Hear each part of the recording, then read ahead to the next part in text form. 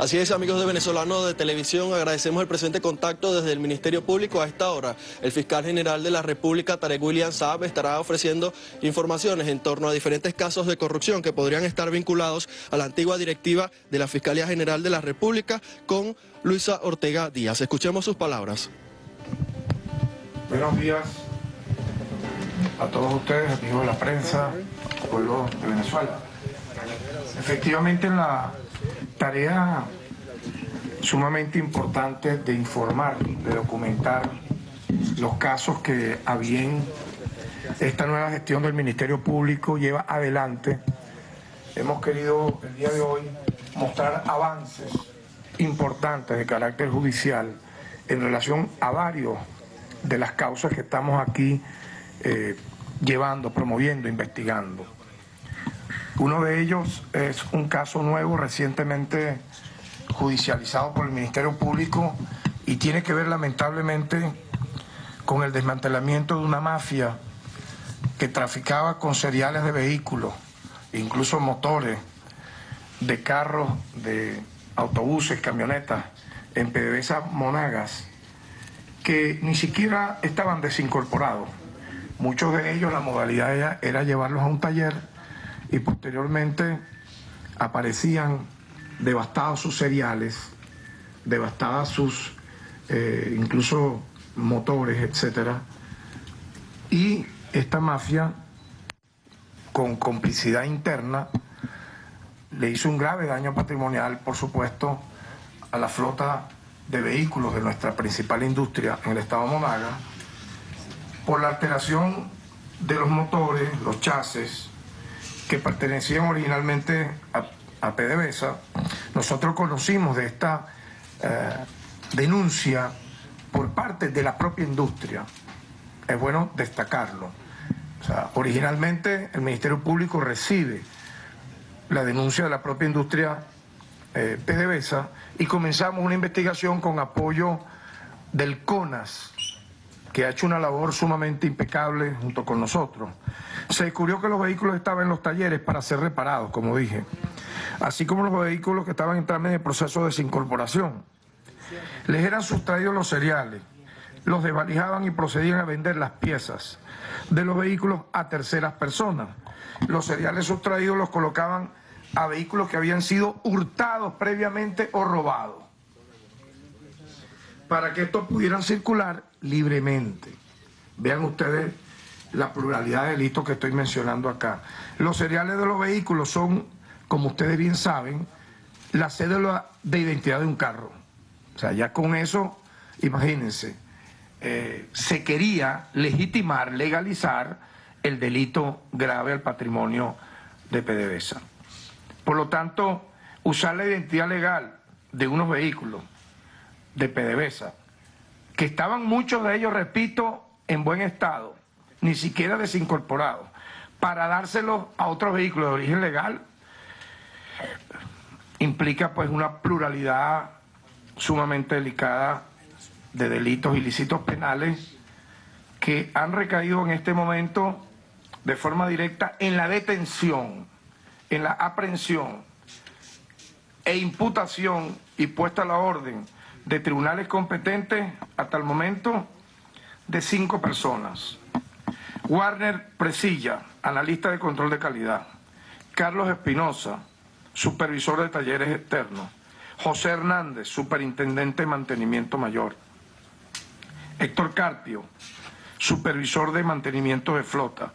Carmen Lumila Fuentes, líder de administración de la flota liviana se encuentra prófugo y esperamos pues se entregue a las autoridades competentes. Jesús Moreno, gerente de transporte de Morichal, que es uno de los campos eh, petroleros que están siendo en este momento investigados y auditados por esta razón, donde el alcance de vehículos de PDVSA, cuyos seriales fueron devastados, para luego transferírselos a vehículos robados, está cercano a los 600 vehículos. Estamos hablando de algo sumamente grave, que compromete a tres campos petroleros, no solamente Morichal, también Punta de Mata y otro eh, que estamos aún por determinar, pero que también va a ser investigado. Estos detenidos solamente son de la división Carabobo de PDVSA, que se encuentra en Morichal. Aquí tenemos la imputación de peculado culposo en grado de coautoría y cómplice simple en desvalidamiento y alteración de seriales. En este sentido, nosotros no eh, descartamos nuevas detenciones, nuevas privativas, cuando sigamos avanzando en los otros dos campos restantes. Es importante destacar esto en el sentido de una lucha del Estado venezolano. Yo quiero siempre ser en esto muy responsable. Esta es una lucha global anticorrupción de todo el Estado venezolano que obviamente compromete al Ministerio Público, pero también al propio, al propio Poder Judicial, a los órganos auxiliares de justicia. En este caso hemos tenido, como dije, el apoyo del CONAS para esta lucha. Y obviamente el Poder Ejecutivo, con, la, con el liderazgo del ciudadano presidente de la República, jefe de Estado Nicolás Maduro Moro, que ha apoyado todas estas iniciativas, porque aquí lo que se quiere es sentar un precedente para adecentar la administración pública. No solamente las empresas que ya voy a mencionar de Cadiz y Coes que fueron allanadas la semana pasada. Aquí también tenemos que sentar un precedente importante en que quien tenga un cargo, obtenga un cargo para servirle a la gente y al pueblo, es para eso, no para utilizar la plataforma que pueda darle el Estado o algún poder fáctico, coyuntural, para hacerle un daño grave a la sociedad venezolana como esto que acabamos de descubrir y es bueno que se sepa. Aquí quien comience a, tener este tipo de prácticas sabrá que la mano de la justicia llegará. Este Ministerio Público no tiene nada que ver con lo que fue el Ministerio Público pasado. Ustedes nunca veían informaciones de este tipo. ¿Por qué? ¿Será que no habían delitos como estos? Claro que los había. Lo que pasa es que aquí reinó la impunidad, porque la antigua gestión del Ministerio Público era encubridora de delitos, de grandes delitos, de medianos delitos y de cualquier tipo. Aquí lo que se hacía simplemente era lavar expedientes, traficar con los expedientes, utilizar bufetes privados para extorsionar personas. Por cierto, uno de esos preferidos bufetes, el de Parra Saluso, ya él, a través de sus abogados, le envió una, eh, un mensaje al Ministerio Público porque ha dicho que él va a acogerse a la delación.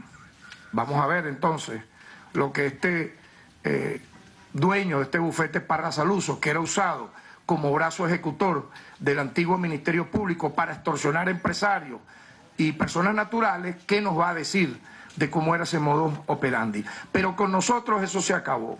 Aquí las cosas que vayan surgiendo, las investigaciones que vayan, que vayamos conociendo, serán al mismo tiempo de evaluadas, investigadas con la debida, el derecho a la defensa, el juicio justo, el debido proceso, obviamente que también tendrá como ustedes saben, el debido tratamiento en estricto respeto a los derechos humanos, pero justicia, que es lo que quiere la gente, que es lo que quiere el pueblo. Estamos ahorita cuantificando el daño patrimonial que se ha causado.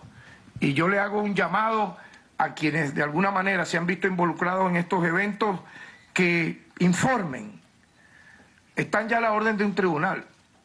Que informen, que digan qué es, que, cuál era eh, digamos, el, sentido nefasto, delictivo de, de causarle este grave daño, en este caso, a nuestra industria petrolera en campos sumamente delicados para elevar la producción del petróleo. Nosotros tenemos una tesis con lo que pasó igualmente en la faja petrolífera.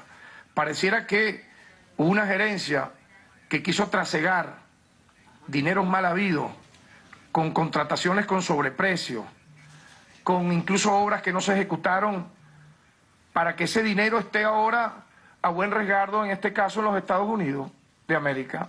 Aquí tenemos prófugos, este, empresarios prófugos, y ya voy a hablar del tema de la faja, petrolífera del Orinoco. ¿Prófugos en dónde? En los Estados Unidos, con sus cuentas impecablemente allí de mil millones de dólares, centenares de millones de dólares a buen resguardo. Venezuela necesita la repatriación de ese dinero mal habido. Y a eso es que me voy a, referir ahora para luego culminar, por supuesto, con nuevos hallazgos en Cádiz en COEX. Fíjense ustedes, la semana pasada, en el caso de la faja petrolífera, nosotros, a través de la Fiscalía 67 Nacional, le solicitó al Tribunal Sexto de Control del Estado de y tres allanamientos a empresas calificadas como de alto riesgo, que se presumen contrataron con sobreprecio con la empresa mixta Petrocedeño. ¿Cuáles fueron estas empresas allanadas? Cooperativa Servicio de Oriente. Esta empresa obtuvo un contrato por un monto de 5.4 millones de dólares con la empresa mixta Petrocedeño. Su propietario, Eduardo Celis, Eduardo Enrique Celis García, presidente. Vicente Enrique Sánchez, desde Alejandra Caraballo. En este allanamiento se recabaron contratos y documentos de las distintas asambleas para evaluar la tradición legal de la empresa y verificar responsabilidades en caso de finalmente concluirse de que hubo sobreprecio. Ah, detectó y digo y nombro estas empresas que fueron allanadas porque dentro de la auditoría que nosotros tuvimos acceso a ella, aparecían entre las empresas que pudieran estar presumiblemente involucradas en estos temas de sobreprecio. Sumiservi 2021, compañía anónima, obtuvo contrato por un monto de 18.8 millones de dólares con la empresa mixta Petrocedeño. Su propietario, Juan Carlos Díaz, director. El director se encuentra fuera del país. En esta empresa se recabaron contratos para verificar si se contrató con sobreprecio. Igualmente los anteriores que mencioné se encuentran fuera del país. ¿Dónde? En los Estados Unidos de América. Qué coincidencia, qué extraño, ¿verdad? Que todos terminan yendo se fugados allá. Igual como el caso de la empresa Cuferca, cuyos hermanos eh, Urbano Fermín, hay uno detenido acá en la Dirección de Contingencia Militar de Caracas, pero otros dos se encuentran en Miami con orden de aprehensión y no se han puesto a la orden de la justicia venezolana. Es decir, todas estas personas que estoy mencionando están prófugas de la justicia y de esa manera serán tratadas a través de la alerta roja que le vamos a, que está ya en, vamos a decir, en solicitud pues a Interpol para que sean enviados a nuestro país. Servicio y Construcción y Mantenimiento Romara. Esta empresa obtuvo contrato por 2.3 millones de dólares con la empresa mixta Petro, Petrocedeño. La empresa está a nombre de María Alba Machado Suárez, presidente según su registro, está ubicada en el municipio Píritu.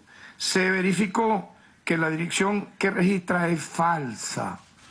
Es decir, aquí hablan de empresa de maletín. Esto no llega ni una empresa de koala, ni una empresa de, de billetera, de nada. Son empresas fantasmas. Y lo, y lo grave es que contrataron, y aquí tenemos que ir hacia quienes dieron estos contratos. ¿Cómo usted va a contratar, aparte con sobreprecio, con una empresa fantasma que no tiene domicilio fiscal? Que el hallazgo aquí importante es que esta empresa aparece en el allanamiento, se le encontraron contratos con Sumiservi 2021. Se, se, logró establecer la relación entre esta empresa y la empresa de servicio de construcción y mantenimiento Romara. Porque los documentos encontrados allí y el personal de seguridad manifestó que la dueña de esta empresa mantiene una relación ¿verdad? conyugal con el propietario de Sumiservi 2021. ¿Cuáles son? Y, en este caso también la presidenta que ya mencioné se encuentra fuera del país, presumiblemente por la investigación migratoria en los Estados Unidos de América. Las acciones judiciales al respecto, se ordenó la aprehensión de la presidenta del Servicio de Construcción y Mantenimiento Romara, Marialba Machado Suárez y medida preventiva de incautación de todos los bienes a nombre de la empresa. Muy bien, ahora vamos al caso de, de en COEX. Esto es bien importante destacar porque aquí tenemos un trabajo sumamente importante por lo siguiente. Hasta la fecha se han realizado 18 allanamientos a empresas por el caso de Cadiz en Coex. 18 empresas allanadas. Se han allanado estas empresas durante un operativo en todo el territorio nacional, conjuntamente con la Policía contra la Corrupción y el SEBIN, para verificar empresas que recibieron divisas, en este caso, para alimentos y medicinas. En esta semana que transcurrió, aparte de la semana antepasada, este, se allanaron 15 empresas, la solamente la semana pasada. Pero vean esto, se verificó que 13 de estas empresas no poseen domicilio fiscal. Es decir, son empresas fantasmas. Voy a mencionarla. Importadora Saidelis, representante Saimar Castillo. Importadora Ramcar, representante Ramón Gutiérrez. Rocaya Import, representante Marco Mendoza. RR Import, representante Ángel Mesa. Importadora Mi Gran Sacrificio 2050. Tremendo sacrificio, pero para desfalcar. Joseph Gómez. Servialimentos Lara, María Ávila. Importadora Bonital, Natalí Bastidas. Importadora Mercantil Cero, Edwin Vialco. Importadora Gutiró, representante Alberto Castillo. Importadoras Mía, está en investigación quiénes son sus propietarios. Consinspro, José Devia. Empresa Textiles Farbi, Elvis Contreras. Drossel Import, Juan Burgos. Cuando hacemos un total de todas estas empresas, el monto que recibieron es de 85 millones de dólares. Repito, cuando hacemos un monto de, lo que recibieron todas estas empresas, llegan a la suma de 85 millones de dólares. Todas, digamos, repartidas entre 12 millones, 7 millones, 9 millones, 7 millones, etcétera, hasta llegar a esta cifra que por supuesto es un daño patrimonial al Estado, burlándose del Estado y de la gente, hablando de que iban a importar alimentos y medicinas, y ya hemos visto que muchas de ellas ni siquiera existen. En este sentido, el Ministerio Público solicitó orden de aprehensión contra todos estos representantes. Y una vez verificada la defraudación al Estado, se va a proceder a la incautación de sus bienes, que es el operativo que se encuentra en este momento en marcha.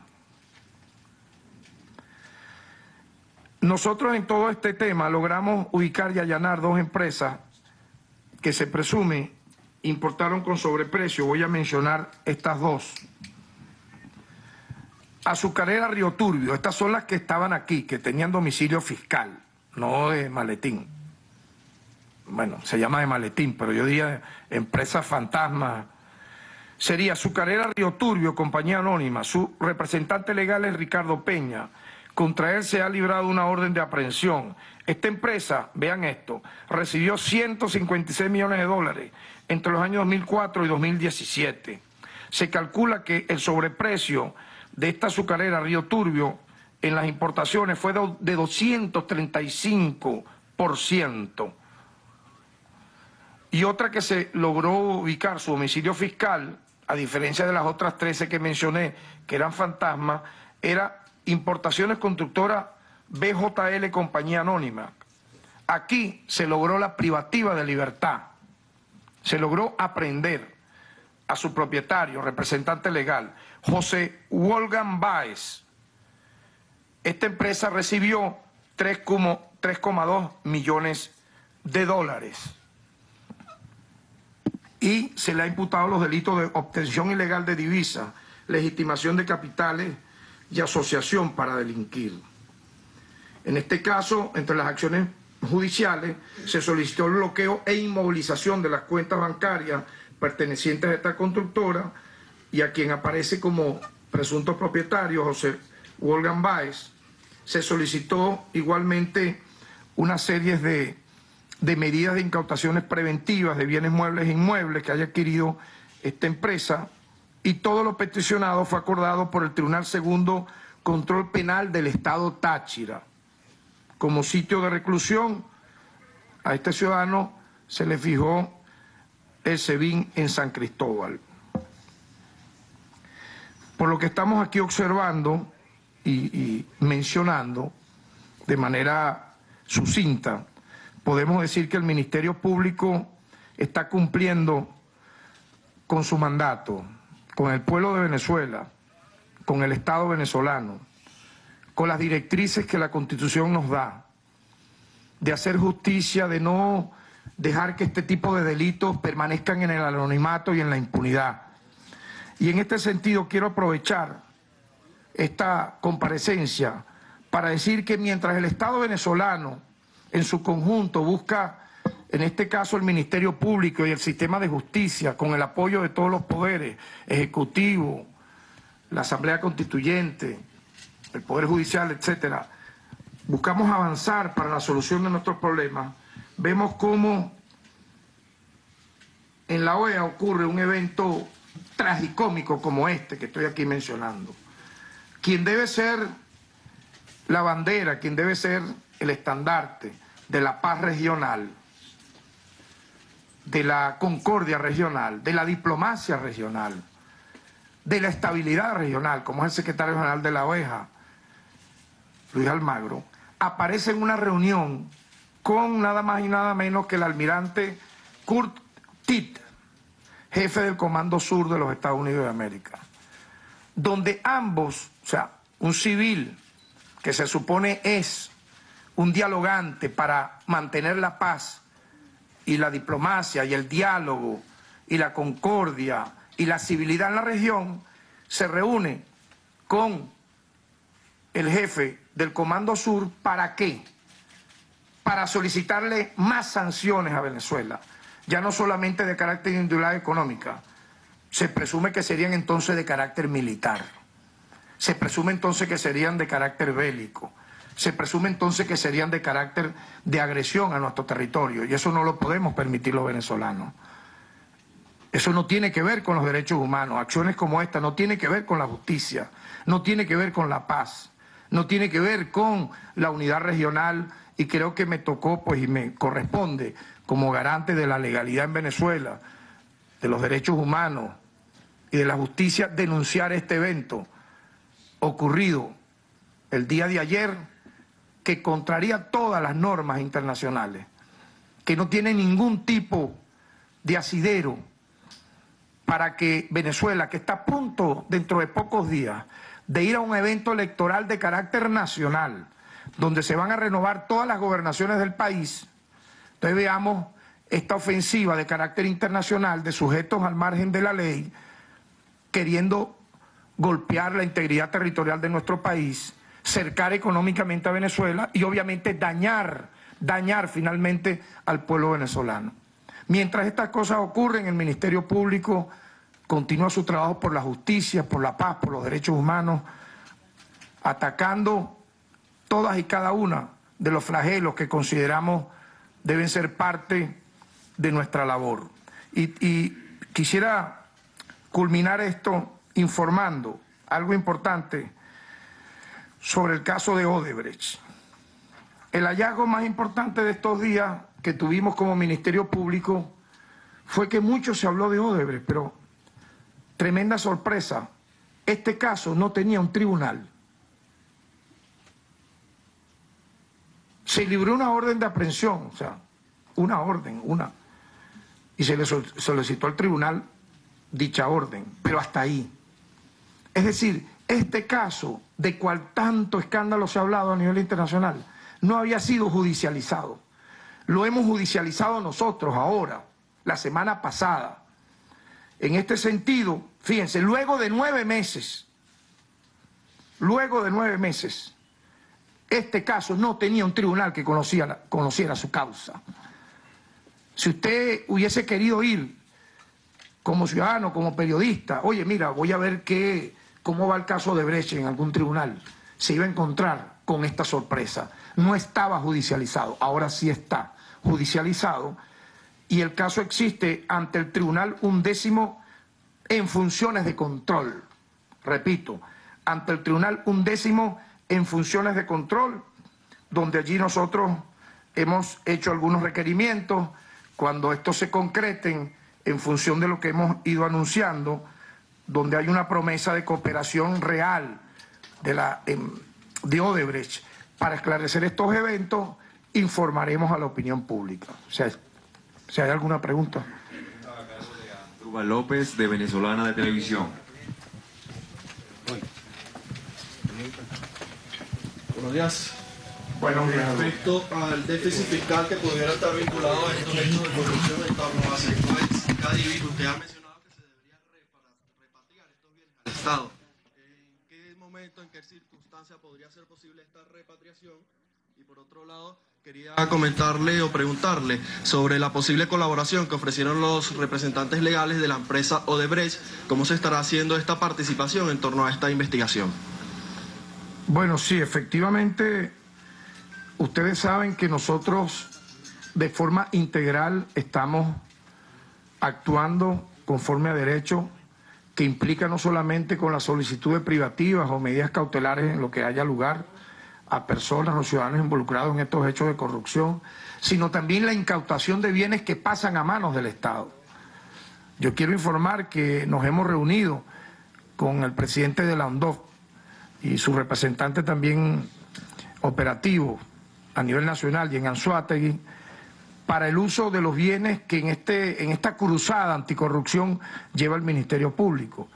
Estos bienes que se presume han sido producto del delito a costa del daño patrimonial a Venezuela pasan a manos del Estado. En el caso de Anzuategui, ya sabemos, la empresa Cuferca se dio el tupé de tener hasta un periódico, clínicas, farmacias, concreteras, este, servicios de transporte, vehículos, 700 carros más 300 maquinarias. Por cierto, un colaborador frente a esta investigación, enterado de los hechos, el dueño de una finca o el gerente de una finca, hizo contacto con el Ministerio Público y entregó 13 gandolas MAC, último modelo de paquete, que los dueños de Cuferca le habían dicho a él, mira, tennos estas gandolas a resguardo como si fueras un estacionamiento en su finca.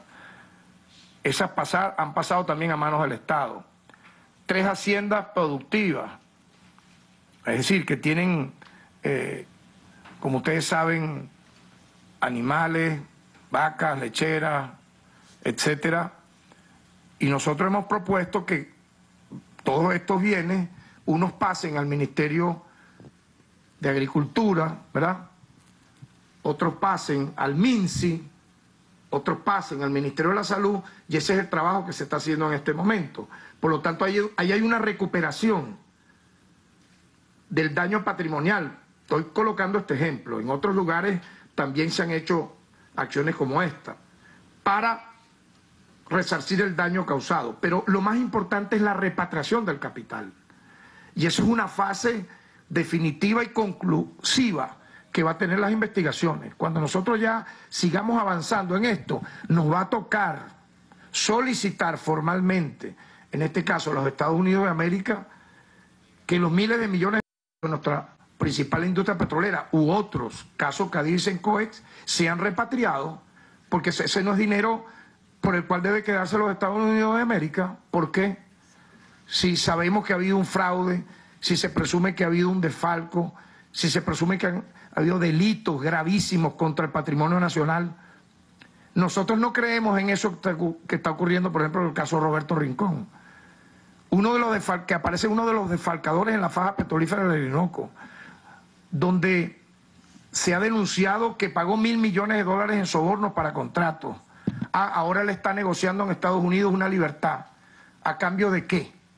De que ese dinero que se presume se robó, le quitó a nuestro país se quede en los Estados Unidos de América, eso no es el deber ser. Por lo tanto, nosotros vamos hacia allá en todos los casos, no solamente el que usted menciona. La otra pregunta era, Última pregunta Disculpe. a cargo de Ya. Fernando Tineo de Benepresa. era esa, ¿no? La otra pregunta era en torno a la colaboración que se han ofrecido otorgar los representantes. Ah, sí, cómo no. En el caso de Odebrecht hemos avanzado de manera jurídica, legal, apegado a derecho. En la entrega, ellos lo han así dicho públicamente en una carta de colaboración para identificar, ya que está el tribunal, ya hay un tribunal que va a conocer la causa, información suficiente que permita aclarar los hechos. Por lo tanto, eso se va a concretar en fecha próxima. Fernando Tineo de Benepresa. Dos preguntas. ¿Hay algún gerente o algún llamado pez gordo esté investigado o detenido en Sencoe? Así es, entonces escuchábamos las palabras del fiscal general de la República, Tarek William Saab, dando parte de estos casos de corrupción en torno a PDVSA, una nueva trama de corrupción con el desmantelamiento de una mafia que traficaba con cereales de vehículos, 70 carros pertenecientes a PDVSA Monagas. Además, afirmaba que se allanaron 15 empresas en torno a Cadivi y Sencoex. Esta es la información que nosotros estaremos ampliando en las siguientes emisiones de la noticia. Un grave delito da un paso hacia adelante.